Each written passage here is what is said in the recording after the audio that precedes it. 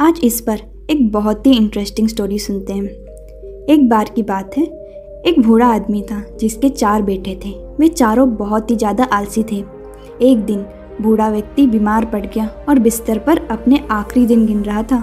वह अपने बेटों के भविष्य को लेकर बहुत चिंतित था, क्योंकि युवक काम करने में बहुत झिझकते थे। पुत्रों को विश्वास था कि भाग्य उनका साथ देगा। बूढ़े आदमी का स्वास्थ्य हर दिन बिगड़ता गया। और उसने अपने बेटों से उनके भविष्य के बारे में बात करने का फैसला किया। लेकिन उनके बेटों ने उनकी एक नहीं सुनी। अंत में बूढ़े ने अपने बेटों को काम के महत्व का एहसास कराने के लिए एक चाल खेलने का फैसला किया।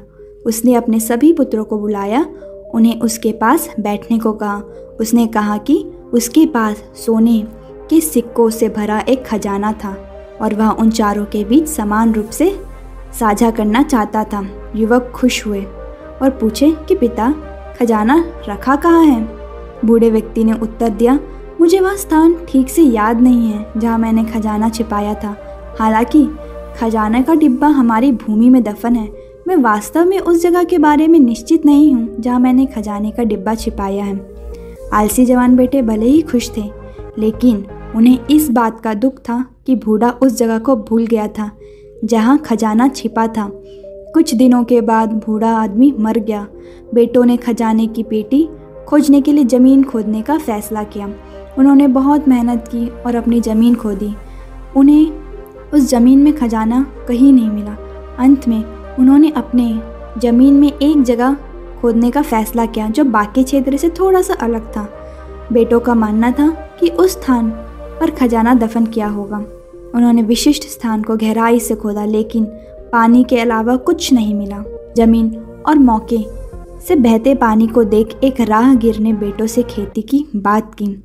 उनकी सलाह पर चारों बेटों ने सब्जियों के बीज बोए और अपनी भूमि में साग और फूल वाले पौधे लगाए।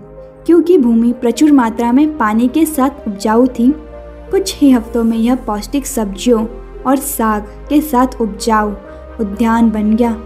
चारों बेटों ने सब्जियों को अच्छी कीमत पर बेच दिया और अच्छी कमाई की। तब उन्होंने महसूस किया कि यह कड़ी मेहनत थी, जिसे उनके पिता ने खजाने का डिब्बा कहा। धीरे धीरे चारों पुत्रों ने अपने आलस्य पर विजय प्राप्त की, कठिन परिश्रम किया, अधिक से अधिक धन कमाया। इसलिए कड़ी मेहनत से हमें हमेशा सफलता मिलती है, पर कई बार सफलता मिलने में हमें समय लगता है, पर जब भी वह सफलता हमें मिलता है वह अनगिनत होता है, जिसकी तुलना और किसी की भी सफलता नहीं कर सकती। इसलिए दोस्तों, जीवन में हमेशा कड़ी मेहनत करो, सफलता ज़रूर मिलेगी। धन्यवाद, मिलते हैं अगले वीडियो में।